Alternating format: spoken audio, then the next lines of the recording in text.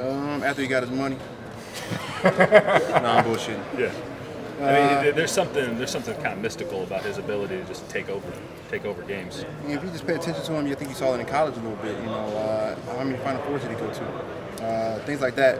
Uh, when you go through draft process, that's you know they don't Yeah. put those attributes into play or they don't evaluate those as much as they should. You know, it's always kind of there's always that vanity play or whatever it may be, your, your length or how fast you are or how well you shoot or something that's overlooked and then there's things that are underlooked and winning is something that's underlooked. There, there's a winning trait and uh, uh, fewer and fewer guys are having it as we, as we are in the uh, where we're trending in basketball. What do you what, what is that about? I, I- don't disagree with you, but I'm curious as to why you think that's the case. Uh, social media. Is it just too much ego?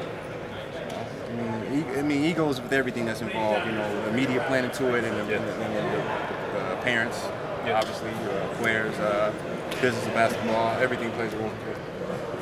Under what's it like?